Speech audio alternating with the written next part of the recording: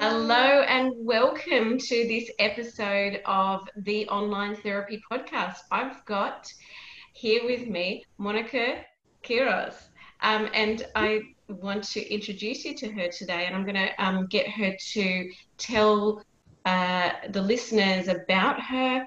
Um, I'm very excited to have her because at the moment she is in Mexico um, and sometimes she lives in Canada. And so this is a really interesting podcast to be doing from here in Australia while she's over there, whilst the borders are closed of a lot of countries. It's really interesting. This is a really interesting time to be interviewing someone in another country despite me not even being able to travel there.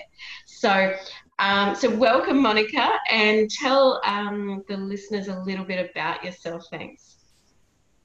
Thank you, Renee. Thank you so much for the invite and for organizing this. And I feel the same way for what you're saying. It's so cool to be connecting with someone on the other side of the world and, and seeing how things are and, and even seeing how we can support each other. So, a little bit about myself. Uh, my name is Monica Queiroz. I'm originally from Brazil, moved to Canada 20 years ago, um, had a long uh, history in corporate corporate finance. Uh, and uh, I find that uh, at some point in my life, when things got really hard, I went through what I'd like to call a dark night of the soul.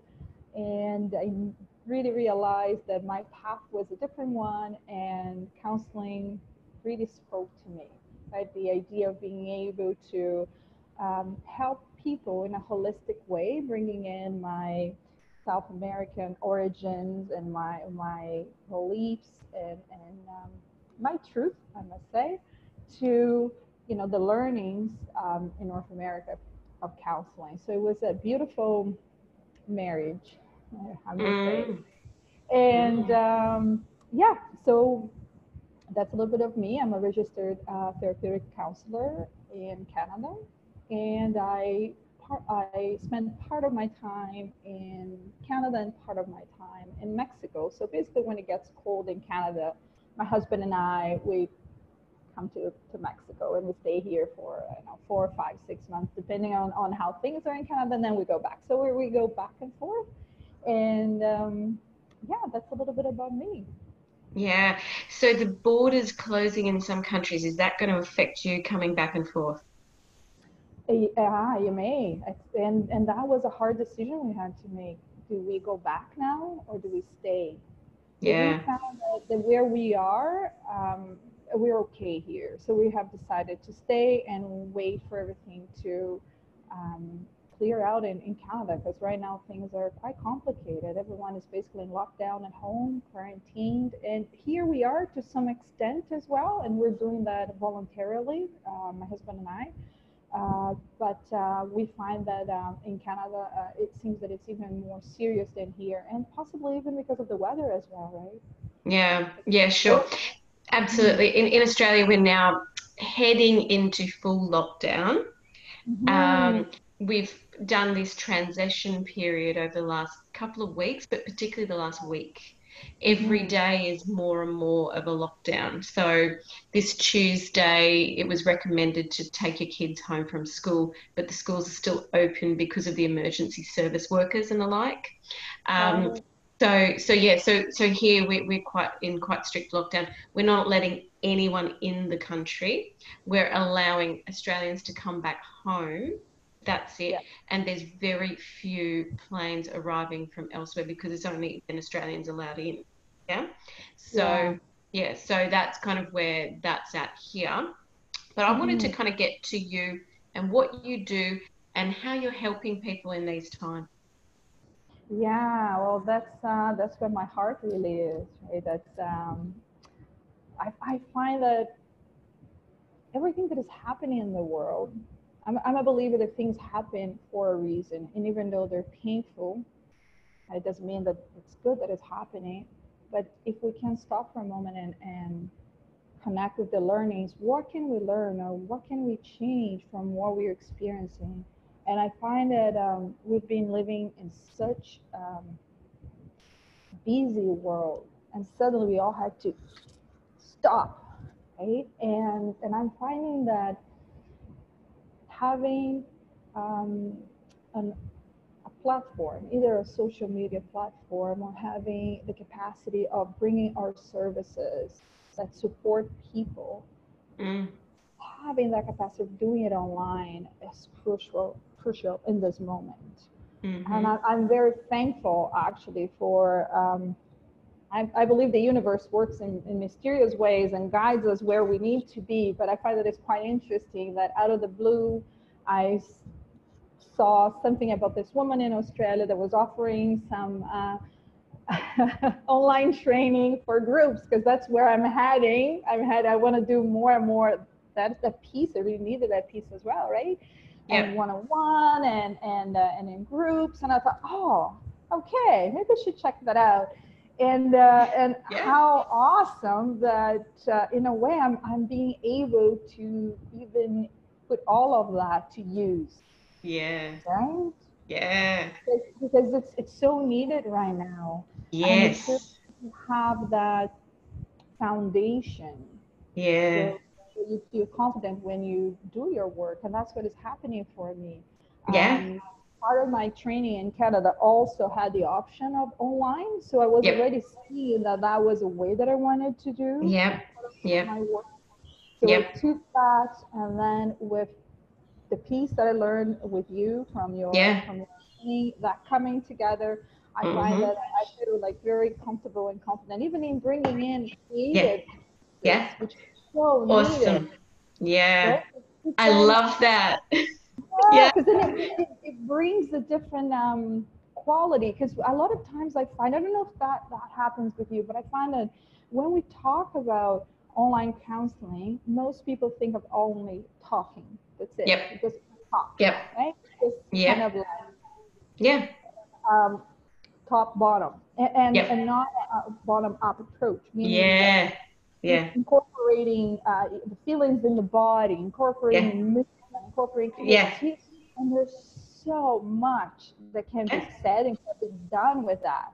Yes. So yeah, so I find that it's fascinating that to be able to bring that into what we do so yeah. we even help people get in touch with part of them of themselves that they had forgotten. Yeah. Yep. Right? Absolutely. That, that, brings them peace, that brings them joy, that brings them yeah. hope. Yes. For this time. Yes, we need hope, don't we? Yeah. We do, we do. Hope is so necessary. Yeah.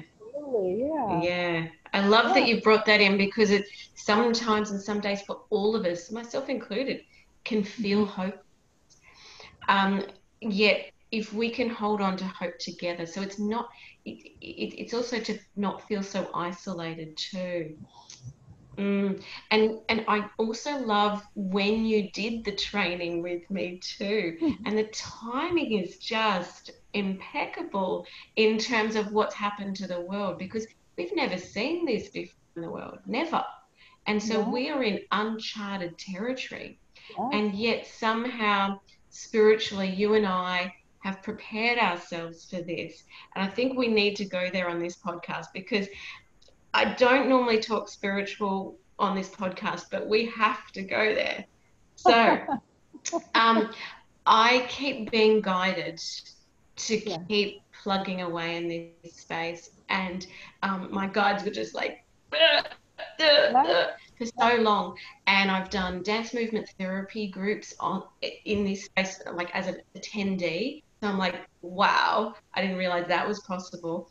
And so then that got me thinking with how I could then help others to make sure that I trained them well. But I've, I've worked in, um, you know, um, online education for quite some time. And so, you know, um, I was already running groups. I've run group supervision, all that kind of stuff. So there's, so there's lots of groups I've run, business groups, mm-hmm. therapeutic groups, all online. And so many people were saying, you can't do that. And I'm like, watch me, you know? Um, mm-hmm. And so then, you know, I've utilized almost um, reworked the concept of face to face to the online space, but accounting for energy and spirituality and creativity. And I yeah. think that's what's been missing in all the other online practitioners. So I just want to bring it back to you then, and almost reflecting on what you were saying, because then let's go with spirituality and how you feel that um, applies and creativity as well. Yeah. Yeah. Well, I, I love what you're sharing. I find, well, first, I can totally relate to this cannot be done. Oh, watch me. Yeah. It's taking the challenge and go, yes, it can, right? If there's a, yeah. a will, there is a way. We're going to find a way and we can. And Yeah. you're showing that, that it's possible. Yeah. And, and it's, it feels so good when you, when you put your heart into what you're doing and then you Yeah. see someone writing you and say, hey, I love this piece or hey, this helped me a lot. So Yeah. there's a lot of, um, it's not even validity. There's a lot of fulfillment and Yes. purpose Yes. in what we came here to do. Yes. And I believe we each have, hmm, we each have our own path and our own purpose. But when we tap into that purpose, that is, you know, that is belongs to us, yeah. beautiful things happen, and that's where the universe, God, spirituality, whatever name, cosmos, the, the name, Yeah. the packaging, the name, for me, doesn't matter. Like we can call it whatever we want, but it's that the good energy kind of like helps us, pushes us, and an opportunity starts to pop here, pop there, and then Yeah. out of the blue. How many times have you noticed that? You're, you're Yeah. thinking of something. Oh, I wonder. I, I, I go a lot about signs, right? Yeah. And, Yes. oh, I wonder if I should do this. And then suddenly out of the blue, it's something that pops on your screen or a friend that Yes. tells you about the thing you were thinking of doing. So these Uh-huh. confirmations that a lot of times we, it's our own intuition also speaking, and we tend to, you know, hide that and bringing that um, to our clients as well. I find that people are actually thirsty for that, for something extra, for something else and for me how i bring that into into my my work is uh, through many different ways i bring that through even um, connecting with with clients with for example um, even using like props like crystals or helping them uh, really integrate and, and connect with their bodies. There you are right? Yes i'll show you my my my mandala or or doing things. And and of course each person is lovely. Yes even even that like even connecting with your client creating a special ritual that works with you and your client. Something that speaks to that client and it's it's not one kind of like size fits all it's it's really specific for that person because we're all different yeah right? Absolutely. yeah, so for s- some people will be even uh, using, I don't know, I have, I'm, I'm in about, today I'm all excited because I was just reading the, the proof from the, the cards that I'm creating and, and my book, Mm. it's coming together, so I'm very excited about that. Yes, and uh, and I use like cards, for example, where we can also connect. And I know that you you love that piece too. I saw that. Uh, Yeah. Connect uh, with uh, with ourselves using different ways. Yeah. Right. Um, to bring Definitely. in getting clients to draw or to Yeah. use their bodies or to create shapes and Yep. that they can express and notice what happens when they move, even sometimes their hands when Yeah. they're going through. So there are quite a few different ways to bring that in. And I like usually to start with a, with a prayer, right? Or, Mm. or, or something that it's uh, that comes from the heart to open the space for Yeah. the healing that needs to happen Yeah. Yeah. I also want to go to your background again because I think it's fascinating for the for the listeners to hear. So I know you were talking about um, you know coming from Brazil, Mhm. living currently in Mexico, going between Canada and Mexico. But I want I just just want to go to to something. I mean, we've we've had I've had personal conversations with you before, like Yeah. you know recently, but I, I feel like I want to capture that somehow to to Mhm. talk to the listeners. Um, um, just in terms of perhaps the um, the indigenous aspect or First Nations aspect of of what you bring in, and I think that's so important right now. So, um, can we touch on that? Um, I want to make sure that I am particularly sensitive around that at this moment in time, mm-hmm. but also that the that the listeners hear what you have to say from a point of view of wisdom. I think you bring a lot of wisdom into this space. So I wanted you to talk to that. Thank you. Um, yeah, I, hmm, I find that um, that what I bring in um, taps a lot into what we call shamanism. Yeah. Yeah. Uh, which is um, the spirituality coming through um, the indigenous people. Yeah. And, and, we do have them in Brazil, and, and it's it's really really sad, like what history shows that have happened to yeah. the culture, to the people, to the land. Yep. yep. And and I I find that it's quite interesting because more and more people, independent of them being connected or not, yeah. in terms of, of let's call blood or lineage. Yeah, yeah, yeah. They they are um, awakening to, to the wisdom. Yeah. Of that culture and to what it brings. Yeah, absolutely. And, yeah, and and so for me, I I find that um, there is a there is a um, you can call it a philosophy or um, religion in Brazil that is uh, it's unique to Brazil. It was it's born in Brazil, and what is beautiful about that, in my view, is that it brings in um, all the wisdom from the natives. It brings yeah. in the wisdom from the Africans because we have a huge influx yes. of Africans. Yes. Yeah. And it brings in the faith and and the, and the wisdom of um, the white man. So yeah. To me, it, it makes a beautiful, perfect triangle when we, when we all come together. yeah. Pieces. Yeah. And, and through that um, philosophy or religion, if you want to call, there is a, a lot of um, connection with guidance through spirit and, and yeah. from and even different aspects of them. So there is a, a let's say there is a part that connects to the natives. There's another part that connects to Africans. Yeah. Right? So and and coming all under one and knowing that the most important thing we all have, we're all humans, and the most important thing is right here in our hearts. Yeah. It's, it's our energy, our intention, and so yeah. I, um, I really allow myself to empty my mind when I'm when I'm working or yeah. when I'm um, yeah to honor all of those yeah. that are from my land. Yeah. From world. Yeah. To really allow whatever needs to come through me to come through me. Yeah. Yeah so so I just want to I just want to kind of reiterate that because you, are getting a bit soft in your volume.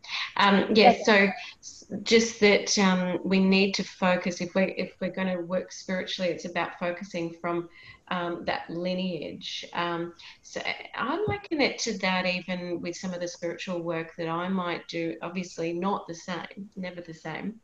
Yes. And I don't I don't personally have any indigenous lineage. Um, mm-hmm though I, I do try to call on my um, uh, grandmothers and and their their grandmothers and, and what have you into the space of what I work on. So it's really interesting that you bring that in because it's at times it's what would their wisdom bring in, and yet now that we're in a, an interesting time, I, have this sense we still need to go back to some of this indigenous style wisdom, you know, yes. across yes. the world, First Nation wisdom, because a lot of the First Nations people around the world have been so traumatized. And what did they learn from that? Because we're having mm-hmm. collective trauma, mm-hmm. and now how did they rebuild themselves? We need to look what an interesting aspect you're bringing in. I really mm. like this, especially mm. with everything that is happening right now with us. Yeah. Right? How how did huh, I never thought of that, but it, it's true. Like how Hmm. How was it for them to feel that, that their own space was being controlled and, Yep. and invaded? And in a way, collectively, we're all experiencing that now. And Yes. Not, another man, but it's a virus. But they the Yeah. impact the same. Yes. Yes. And And how do we rebuild from Yes. that? What can we Exactly. with this experience? And I I think the only thing from my perspective, I've been thinking about this, is it's it's not exactly a war, but it's almost like a war within, you know? Mhm, mhm, And so then, um, and that has been what the First Nations people around the world have suffered, in Australia in particular, because, you know, their babies were taken, you know, um, all sorts of things happened here, um, terrible things. Um, and then it's how to rebuild that. Mm, yeah how do we start to go back to those it's almost like back to basics yeah, yeah. Mm-hmm. yeah what you're saying even in canada we also had all this impact it hasn't been that long ago Yeah, uh, that uh, the s- schools were closed right schools where all the indigenous children would be Yeah. taken from their families yeah, yeah. and, and sent to those schools so imagine the, the impact Mm. on on the family, on the fabric. Oh know? yeah, yeah, absolutely. Mm. So there's a, there's a lot of, of, of healing that uh, that needs to happen collectively as well, and and I Yep. think even with them as well. And Yeah. uh, and that's why, in a way, I love the work of uh, family constellations and family Mm. systems because we really start to look back to see what is coming, what is trickling from our ancestors. Yes. Back. What are we carrying? What are we holding? Yeah. A lot of times we're holding things we're not even aware we are. Yep, yep. And and I love that you brought that in because um, there's new research around the epigenetics of that actually being the case. So we actually do have trauma passed on in our genes as well. So there's multiple layers of why it's good to look back on your ancestors, but also how how did they deal with trauma, with grief, with loss, and how did they come back from that?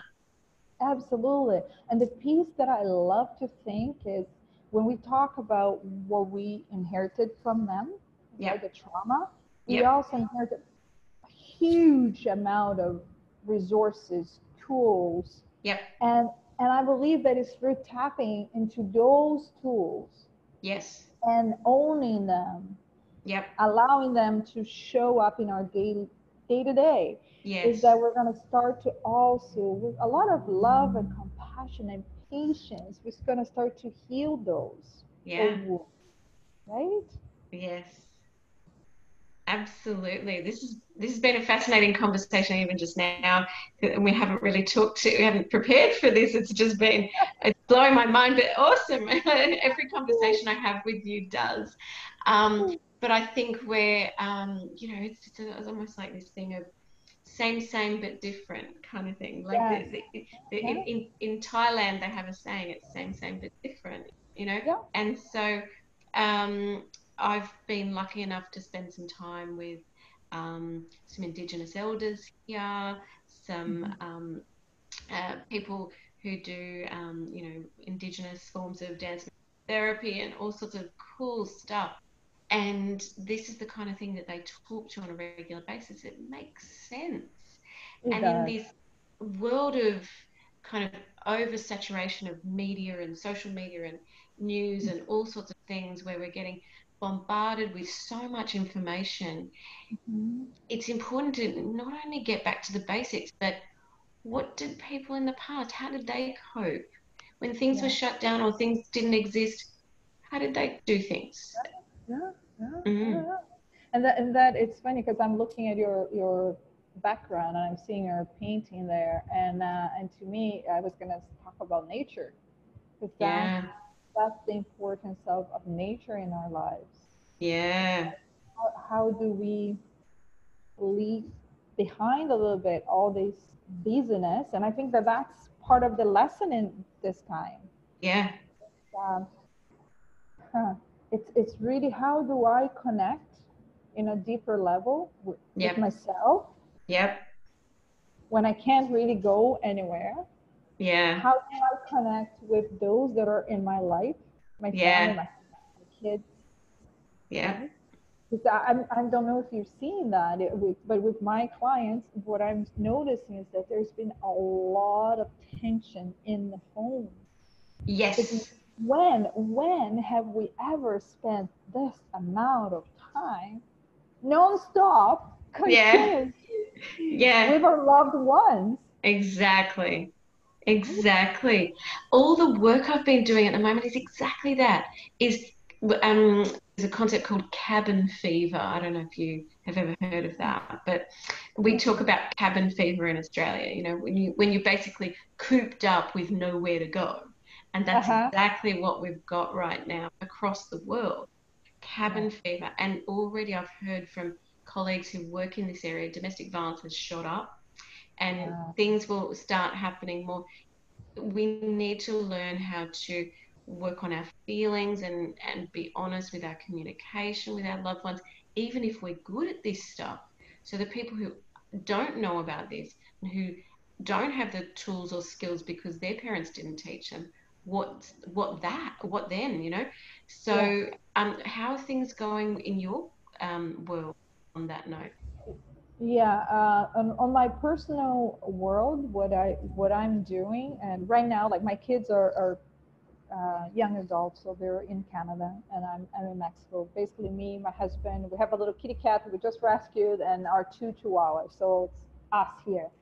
And, and what I'm finding is that I really need to work on that balance of um, togetherness and at the same time my our individuality so that are mm-hmm. times where we're, we're blessed in a way that our home has space where i can yeah. sometimes even spend hours and hours in either either here in my office or, or in my room yeah. and, and we have yeah. another room so he has another room for himself and so we have space to move around so we can come together but we can also have our own individuality because i think yeah. that balance between those two is, is so so important. Yes. But what i'm seeing with with a lot of um a lot of people is that there's a lot of tension coming up. And, and even even with us there's times that yes inevitably you, you spend so much time together yes. that you start kind of rubbing on on the little wounds that are uh, hidden way way in. Yeah yeah. Um, so for me what i've been doing that helps me a lot is i journal i write yeah. and, I, and i try to see what is underneath all that is happening what is really yeah. happening for me inside yeah. me yeah instead of simply uh, um, each person will have a different way of reacting right for some yeah. will be attacked for me i will distance. Uh, so, so for me, it's the work of not distancing and yeah. Realizing that okay, breathe. What's really happening? Okay, so now you're ready to come back. So kind of like finding this this balance, and I'm seeing that a lot. I haven't heard anything about. Um, domestic violence yet. I haven't seen that with uh-huh. with my clients, but I do not doubt because uh, yeah these times, these trying times, will bring up a lot of even old trauma. Yes, right? Exactly. And, and, and then it's creating new. It's creating new trauma at the same time as bringing up the old trauma. So it, it's really, yeah. you know, coming. right? Yeah. So we've only got probably another minute um, yeah, before we can. Can you imagine? Like, wow, we could talk all day. Um, so I guess I just want a couple of things about you now and where people could find you and what you believe you help people the most with and what your groups are. So kind of give us a bit of a summary about, um, mm-hmm. you know, um, where do people find you on the internet or how do they connect yeah. with you? Yeah. yeah, absolutely. Thank you for that. Well, I have my own website so people can find me on um, www.soul soul-free.com. Uh, I have my Instagram uh, page, which is Soul Free Therapies, and also Facebook, which is uh, Soul Free Wellness. So those three ways. Um, what else? I'm also listed under your website. So yes, you are. Well, yes. yeah. And uh, I find that um, I usually help people deal with anxieties, deal with yeah. uh, depression, but but more than that, it's really connecting with their hearts, connecting yeah. with mm. life, and yeah. and and finding peace. I think that yeah. that's that's the greatest gift. Yeah. To be able to find peace in your life, and so that's right. yeah, that's the excellent. That yeah, in terms of, of groups, uh, I usually run um, once or twice a year. I usually run a, a sacred feminine type of, of group where it's for women awesome. to connect and, and, and have the sisterhood feel yep. and, and bring in a piece of spirituality merging with psychology. So it's, yeah. Uh, it's a beautiful gathering. Yeah. yeah. And so, are you running ongoing therapeutic groups as well as that, or just the, that particular? No, group? for now, just this particular group. Yeah. Okay. It's great. In, it's in the works, but only after I finish my my cards and the book then this is the next one coming. So then the package, the package will be coming for everyone. Wait, I think um, I sounds like it's going to be brilliant. You know, I'm interested in your cards. I hope I can get them, and this is going to be the issue. So this is maybe something for you to think about. Is um, uh, postage? It can be difficult in these times, so it might be are you going to bring out some e e cards or something as well? Yeah. Those, those who might not be who yeah. might not be able to access them over here in Australia with you over there. we'll have to sort that out. yeah, yeah. I'd love to get some e cards once once you're done. I'm not sure I'll be able to get the physical ones anytime soon. yeah. It's true. Yeah. so this will this wave will, you know, calm yes. down and yes. absolutely. yeah. eventually. Yeah. Yeah. Exactly. So thank you for coming on monica. Um, and i'll just reiterate it's um, to, to catch up with monica it's soulfree.com so it's um, www.soul-free.com that's yep. correct. Yeah, um, right. and that sounds like the best way to contact you. And then you're on instagram and facebook as well um, so yeah, um, you'll be able to check out a copy of this on YouTube. I'm putting this on, on YouTube for all the listeners. Um, to, so you can see us talking. Um, we are real and not just like, you know. anyway. Robot, robots. yeah, yeah, yeah, exactly. Um, and for those of you listening in on Spotify or iTunes or um, Google Podcast or any of the others, um, yeah, you can also just um, look up um, Monica, www.soul-free.com. So, and um, as always, um, I'm at www.aott.com.au. And um, anyone who's a therapist or even someone who wants to know what a therapist should be doing online um, can contact me too. I'm keen to get it out there that how to professionalize this space while coming from the heart too. So um, I think this has been a brilliant conversation around all of that. So thank you, Monica. Um, thank you, Renee. It was lovely as always seeing you. I really yes. appreciate you yes. come together again. Yes, love absolutely. Thank you so much. Um, I love talking to you every time. Same here. Okay. Enjoy your day. Bye. Bye.